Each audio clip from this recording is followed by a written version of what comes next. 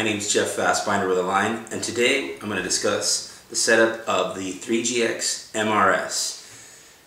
This new flybarless system enables you to utilize both Spektrum DSM2, DSMX, as well as Futaba FHSS.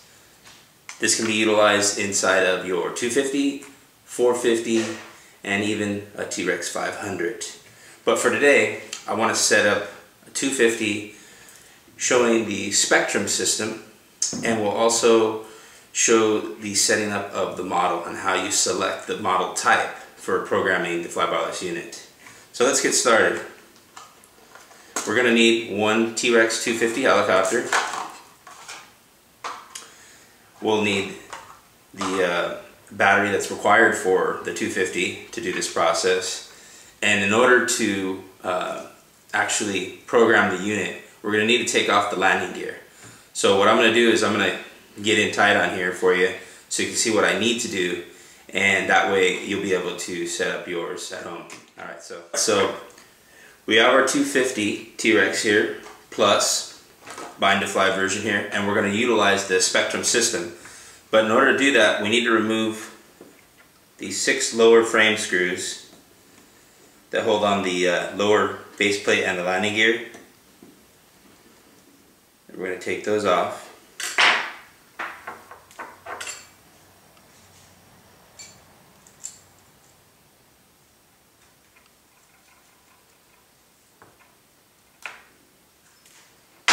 So now what I'm going to do is I'm going to open the frame here, pop this out, and screw this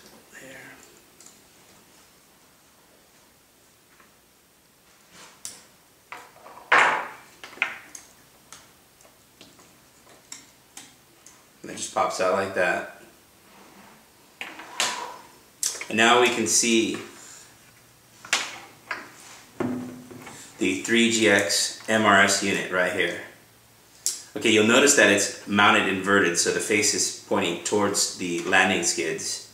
And this is the way you want to leave it. You also want to make sure that the antennas, these two antennas here, are facing forward, okay? So they're facing the front of the helicopter. It's really important. And so what we're going to do in order to uh, select which unit we want to use, such as the T-Rex 250, 450, 450 Plus, and or the 500, we're going to need to use a bind plug. Okay. Alright, we're looking at our T-Rex 250 with the lower base plate and landing gear removed. And right now we have the bind plug plugged into the aileron port. This is for selecting the 250 flight profile in the uh, 3GX MRS here. And we also have the throttle cable plugged in for power. That is plugged into our BEC slash speed control. But you'll notice that I've actually pulled the wires from the motor so that way we don't inadvertently power the motor. Okay, so just to be safe, we're going to do that. What we need to do now though is hold the set button and then plug in the power. So we're going to hold the set button on the MRS here.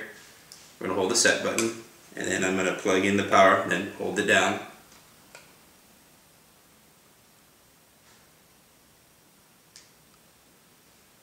And you'll notice that the status light right now is blinking once.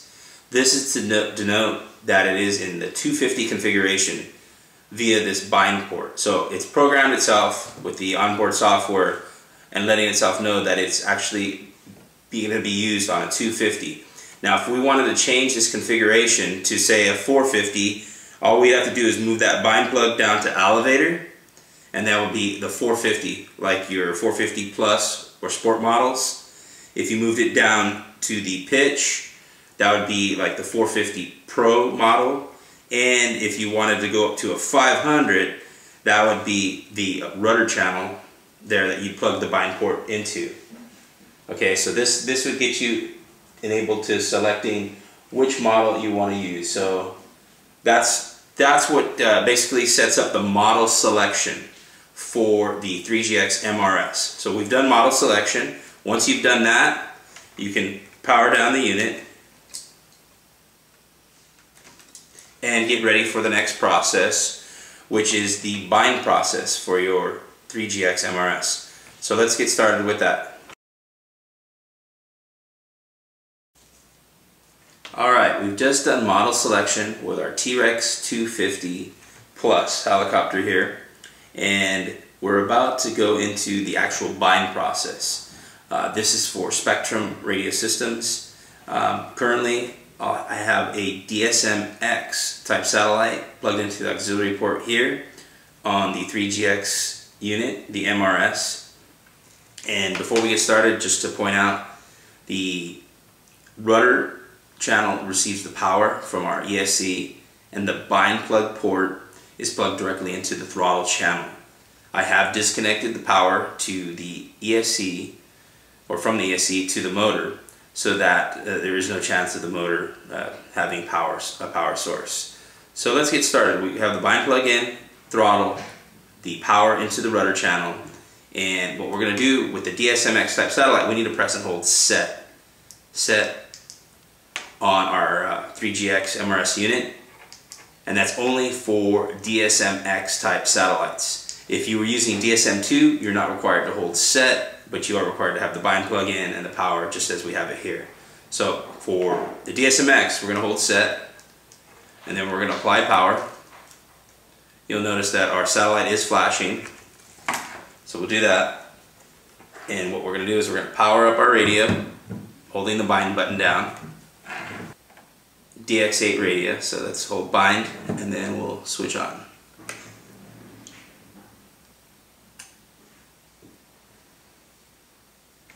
Okay, you've got a solid satellite there, powered on, and just like you do with your Spektrum systems, you go ahead and pull the bind, bind plug out here.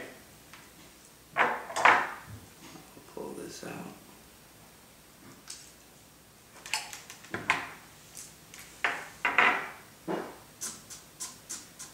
And you notice the swash will dip and cycle there in the initialization process. But before we go further, why don't we get the throttle channel in its correct channel and uh, get the rudder back plugged in.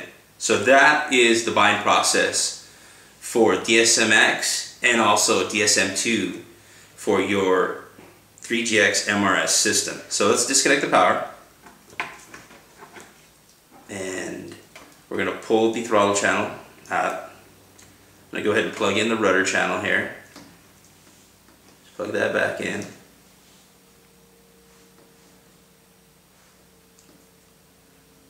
Alright, and we're going to plug back in our throttle here.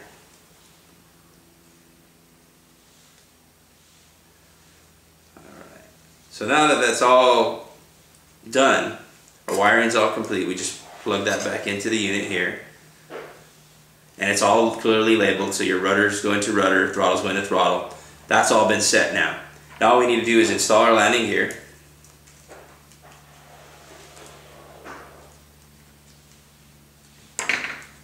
tuck these wires in real quick.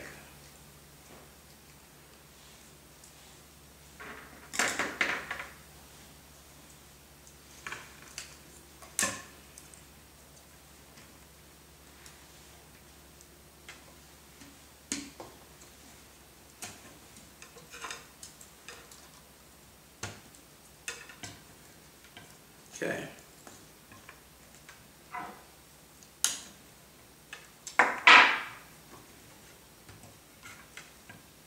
Alright, there's little tabs on the side of the frame that plug right in there. And now your 250 is almost ready. You need to reinstall the six screws sure we had taken out. Before we do that, again, we've done the model selection, which is the T-Rex 250, and we've also done the bind process up to this point. My radio on, and now I've just connected the power. You'll notice that the swash plate dips up and down. And now we're going to check the control function here.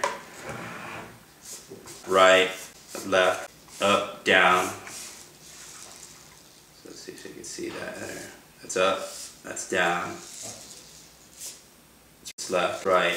And then we also want to make sure that the swash is working correctly. So when we move the helicopter to the left, the swash plate on the left should should move up. So see so you can see that there.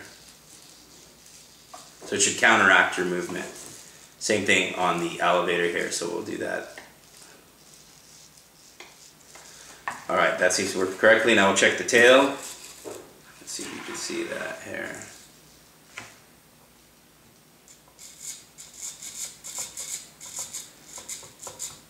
Again, it should oppose. So if you move the tail, in this case, to the right, nose is going to the right, this slider will move to the left to counteract. Okay, and that's should be correct if it's moving as it should.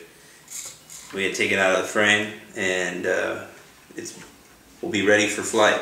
Now as far as programming the, the radio, there is a CD included with your bind to fly helicopter and it gives you general numbers to get started with programming your helicopter type. In this case, for this swash system, you're using H1, so that's 90 degrees inside of the radio system. So make sure you do that. You're not using CCPM because all the mixing is done by the 3GX MRS unit. This concludes the binding process. Uh, you are now ready to take your helicopter out to flight after the basic programming. So I can plug this in, the power.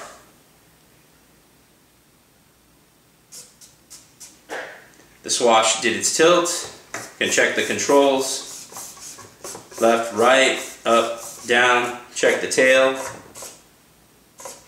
Make sure everything's working correctly.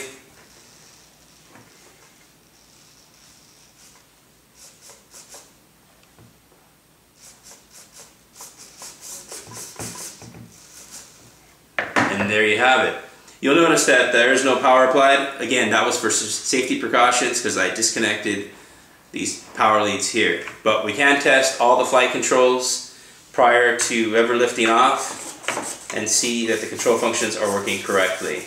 This uh, should enable you to select the model type and also the bind process. Uh, if you have any questions or need further assistance, please contact me at jeff at alignrcusa.com or consult our website at www.align.com.tw. Thanks for watching. My name's Jeff Fassbinder with Align.